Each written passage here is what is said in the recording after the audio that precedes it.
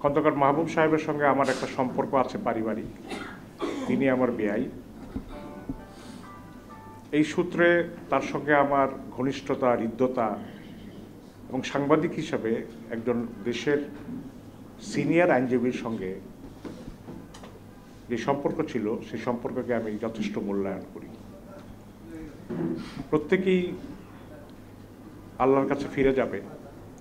কিন্তু কি নিয়ে যাবে? সেটাই হচ্ছে বড় প্রশ্ন।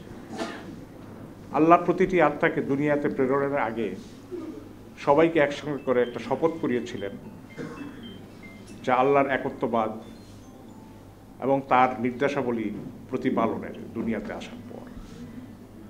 আমার বিশ্বাস, খন্দকার মাহবুব হোসেন সাহেব আল্লাহর প্রতি যে শপথ করেছিলেন, সেই শপথটি তিনি পরিপূর্ণভাবে প্রতিপালন করতে পেরেছেন।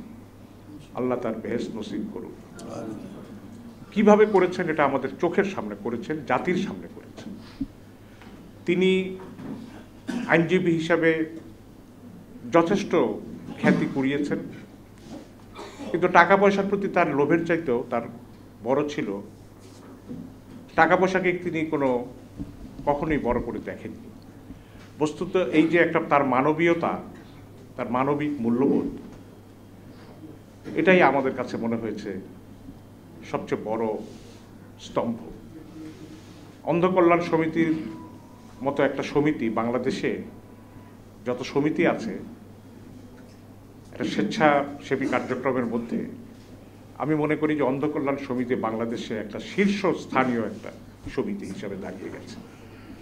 এবং অন্ধজন বিশেষ করে গরিবদের সেবায় তিনি যেই প্রতিষ্ঠানটি স্থাপন করেছিলেন সেই প্রতিষ্ঠানটি এখন আমি মনে করি যে বাংলাদেশের শীর্ষস্থানীয় প্রতিষ্ঠান। এই যে তার চিন্তার চেতনা মানুষের কল্যাণের জন্য, এটা আমি মনে করি যে আমাদের জন্য একটা বড় পাওয়া। যেখানে সমাজে মানবিকতার লোপ পেয়েছে, সেই জায়গায় তিনি দাঁড়িয়ে আছেন একটা অটল স্তম্ভের মতো। সেখানে দাঁড়িয়ে তিনি দুস্থজনের সেবা করেছেন।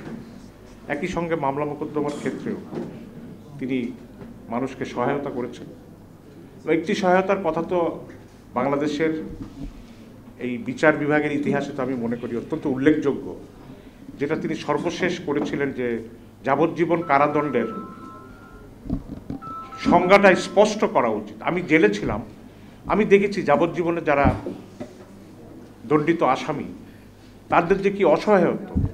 কারণ আপিল বিভাগের একটা রায় ছিল এমন যে তাদেরকে সারা জীবনই জেলে থাকতে হবে।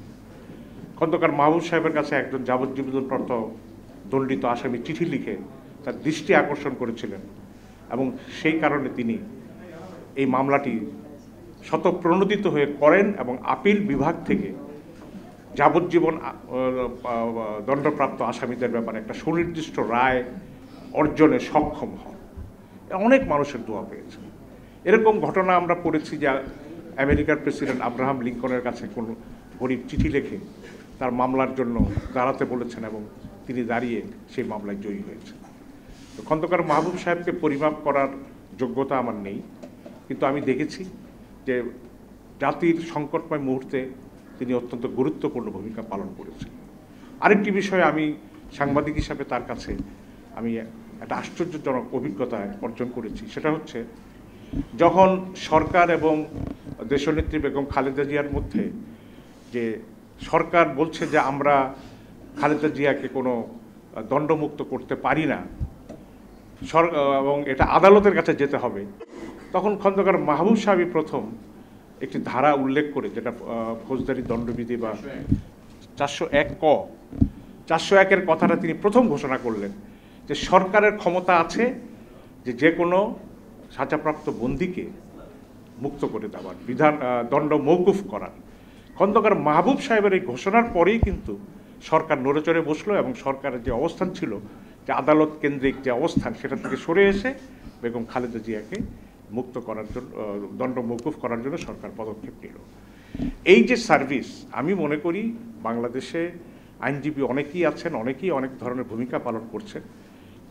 সঠিক সময়ে সঠিক দিক নির্দেশনা দেওয়ার কাজটি কিন্তু খন্দকার মাহবুব সাহেব করে গেছেন। তার সঙ্গে অনেক স্মৃতি আছে, অনেক কিছু আছে। আজকে ব্যক্তিগত স্মৃতি দিয়ে তার প্রতি সম্মান জানাতে চাই না। আরও একজনকে সম্মান জানাতে চাই, ডক্টর ফরহাদ হোসেনকে, তার সহধর্মিনী। তিনি খন্দকার মাহবুব হোসেনের পাশে থেকে দীর্ঘদিন ধরে তার যে চিকিৎসার ক্ষেত্রে তিনি যে ভূমিকা রেখেছেন এবং একজন গুণী মানুষ হিসাবে আমি মনে করি যে তার স্বামীর পরিচর্যায় তিনি যেভাবে নিজেকে নিয়োগ করেছিলেন তা আমাদের কাছে অত্যন্ত একটা আশ্চর্যের বিষয়। এই এই সময় কিন্তু এটা সহজে দেখা যায় না। সেই জন্য ডক্টর ফরহাদ হোসেনকেও আমি আন্তরিক মোবারকবাদ জানাই। এবং আসুন খন্দকার মাহবুব হোসেন সাহেব যে দৃষ্টান্ত রেখে গেছেন, সে দৃষ্টান্তকে অনুসরণ করে যদি আমরাও এই অন্ধদের জন্য বা আরও সমাজের পিছিয়ে পড়া মানুষদের জন্য যদি করতে পারি, তাহলে আল্লাহর কাছে আমাদের জবাবদিহি করতে হবে না। সবাই চলে যাবে।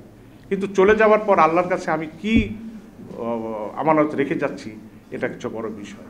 সুরাই ইয়াসিনের একটা আয়াত আছে যে, ইন্না নাহনু নুহকেল মাউতা ওয়ানাক্তুবু মা কাদ্দামু ইমামুল মুবিন। এর অর্থ হচ্ছে, আমি মৃতকে জীবিত করি এবং তারা জীবদ্দশায় যে আমল রেখে যায় সেটা লিখে রাখি এবং অন্যান্য যা কাজ করে সব কিছু আমি রেখে রাখি একটি স্পষ্ট কিতাবে। সেই কিতাবটি যখন আমাদের হাতে দেওয়া হবে, তখন আমরা যেন খন্দকার মাহবুব সাহেবের মতো বলতে পারি, আল্লাহ, আমি একজন সফল মানুষ হিসেবে তোমার কাছে এসেছি। আপনার গুরুত্বপূর্ণ অর্জন এবং কাজগুলো সম্পর্কে সবাইকে অবগত? ব্যক্তিগতভাবে আপনার অথবা আপনার প্রতিষ্ঠানের সুনাম ও সমৃদ্ধি ছড়িয়ে দিতে আপনার পাশে রয়েছে web kingdom. Design, graphics design, motion graphics, professional photography, videography, Facebook ad, paid campaign সহ আপনি পাচ্ছেন নানাবিধ সেবা। বর্তমান সময়ে ফেসবুক ইউটিউবের মতো চমৎকার মাধ্যমের বিকল্প আর কিছুই নেই। এইসব মাধ্যমে লাখ লাখ মানুষের কাছে আপনার বা আপনার প্রতিষ্ঠানের তৎপরতা ছড়িয়ে দিতে যোগাযোগ করুন আমাদের সঙ্গে এই নাম্বারে। আমরা কাজ করছি বিশ্বস্ততার সঙ্গে।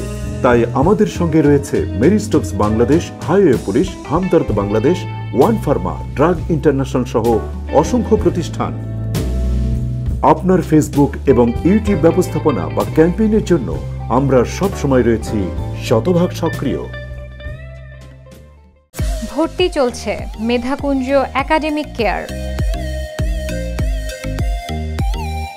তৃতীয় ও দশম শ্রেণি পর্যন্ত বাংলা মাধ্যম ও ইংলিশ ভার্সন। আমাদের বৈশিষ্ট্য, সৃজনশীল সহ নানা অত্যাধুনিক শিক্ষা পদ্ধতির পূর্ণ অনুশীলন, পূর্ণাঙ্গ ও নির্ভুল লেকচারশিট প্রদান ও স্কুল ভিত্তিক পাঠদান।